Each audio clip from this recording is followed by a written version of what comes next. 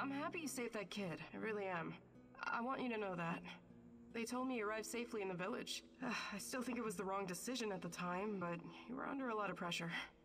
Anyway, next time, please listen to me, little babushka, okay? How about you give me a little babushka? How about that, Olga?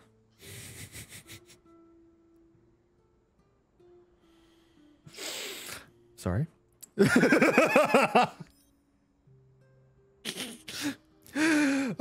oh my god, I'm sorry, man. I'm sorry. I can't help it. I uh yeah, you already know who I am. You already know how I am. I should say not who I am. You know who I am. Follow me into the Dabter life.